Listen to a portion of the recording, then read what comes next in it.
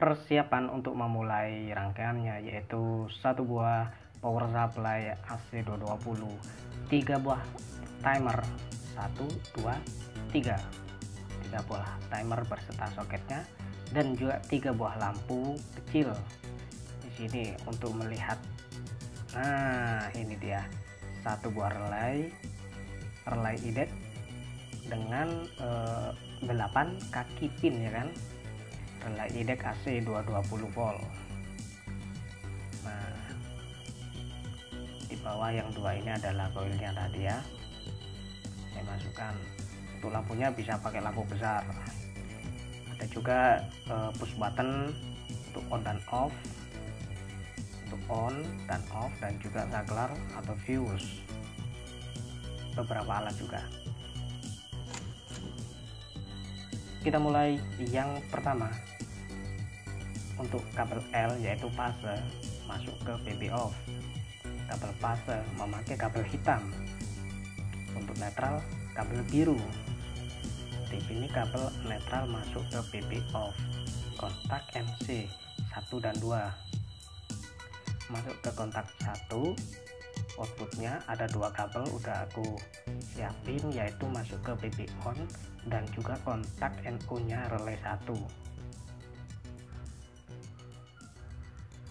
ini untuk PB on.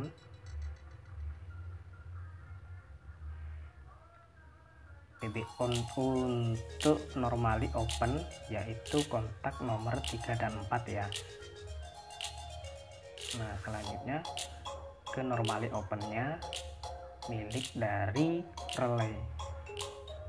Kamennya yaitu di atas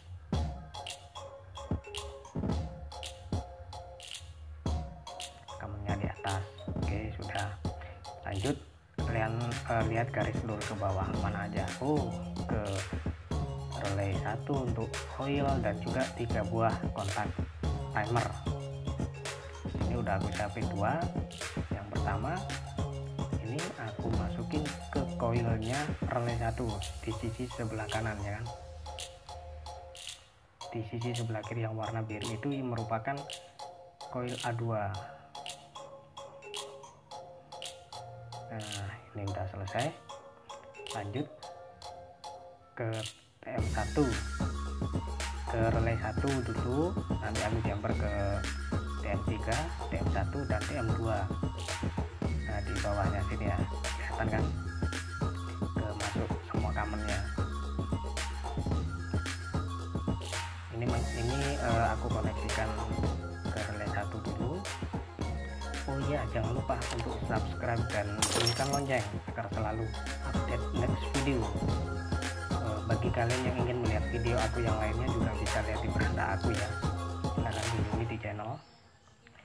Oke lanjut. Masuk ke TM1, TM2 dan TM3 ke kamennya. Kamen terletak di bawah tepatnya di tengah. Ada sebelah tengah sebelah kiri dan sebelah kanan kalau pojok kiri dan pojok kanan itu merupakan coil dari timer. Aku masukkan ke kamennya T1 TM1 ini di jumper ke dua buah timer yang lain juga. Agar semuanya bekerja saat di on kan daripada uh, eh, BB on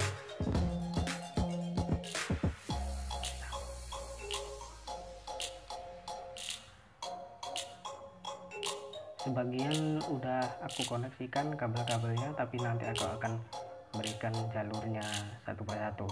Aku urutkan supaya benar-benar paham kalian ya benar pengerjaannya ini aku lanjut ke kamen yang terakhir. Aku pilih yang kanan kan?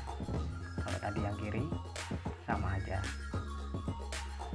Oke semuanya sudah selesai sekarang kita lihat gambar masuk ke TM3 dilanjut ke TM1 dari TM3 tadi outputnya ya kan atas. Nah ini dia. Masuk ke nah ini dia. Kita bisa lihat. Masuk ke TM1 nah benar kan? Ke kamennya kamen TM1 dan juga ini dijamper ke coil T1 kalian bisa lihat ada kabel yang menjamper ke coil ya kan? Coil di sisi sebelah kiri IRA1 udah benar kan? Nah sekarang outputnya ini nah ini masuk ke lampu H1 hijau. H1 merupakan uh, lampu yang berwarna hijau terletak di bawah. Nah ini dia lampunya kalau di jalan-jalan yang besar pakai lampu yang besar ini juga bisa digunakan loh ya. Cuma di sini aku pakai simulasi lampu yang kecil aja. Kalian bisa lihat outputnya di sini yaitu uh, masuk ke TM1 NC ya jangan lupa NC ya kan? Lanjut outputnya ini dari DM1 yang pertama tadi ya kan ini dari open tadi yang udah aku jumper tadi keluar ke TM2 nah ini dia. Kalian bisa lihat ke TM2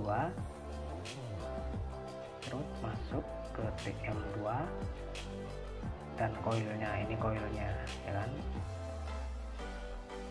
Nah koil dan juga ke kamen kamen TM2 benar kan? Nah, kalian harus paham ini. Sekarang outputnya menuju ke H2 berwarna kuning lampu kuning. Oke sudah dapat kencang semuanya. Sekarang outputnya ini. Yang tengah ya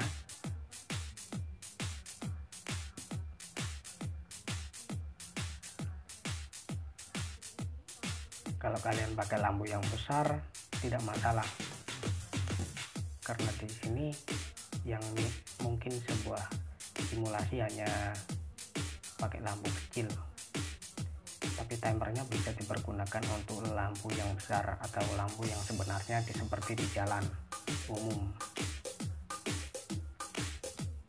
Ingat ini masuk ke normally close daripada kontak TM2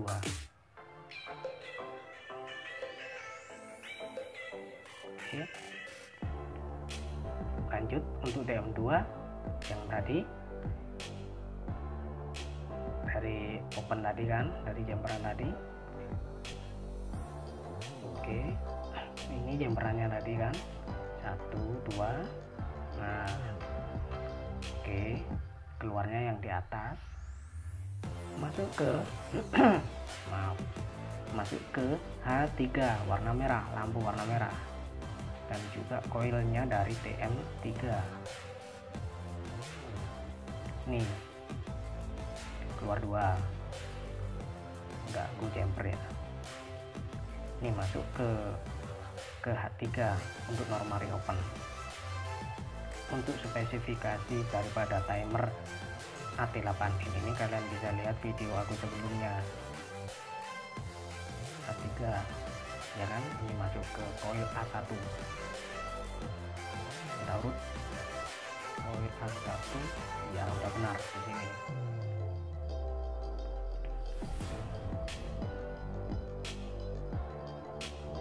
Nah sekarang ini yang terakhir yaitu uh, netralnya lampu udah aku kan? Kalian bisa lihat. Ini semuanya ada jumperannya nah, coil A2 dan juga netralnya lampu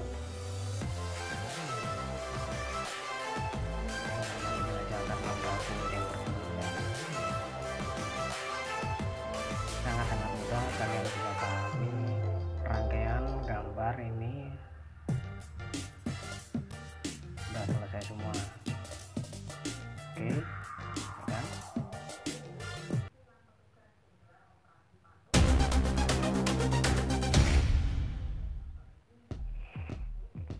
baiklah sekarang kita mulai. Kita masukkan powernya. Kalian pastikan powernya udah siap. Power yang masuk ke MCB itu untuk fase. Ya udah nyala kan? Ini tidak. Oke lanjut. Coba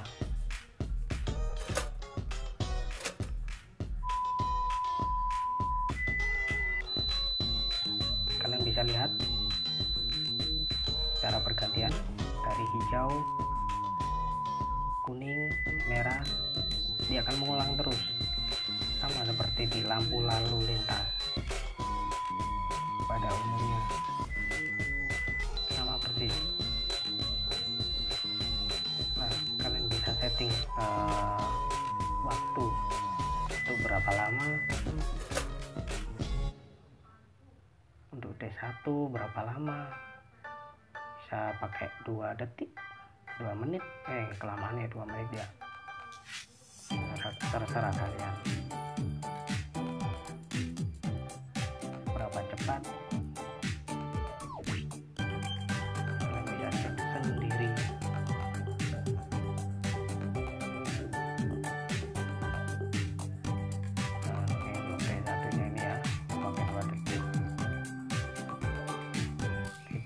juga satu detik.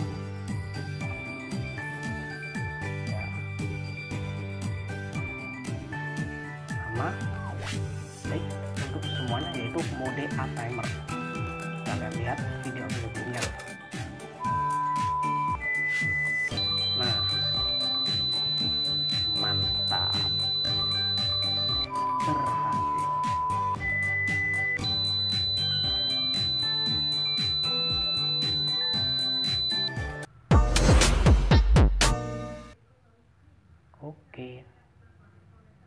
nice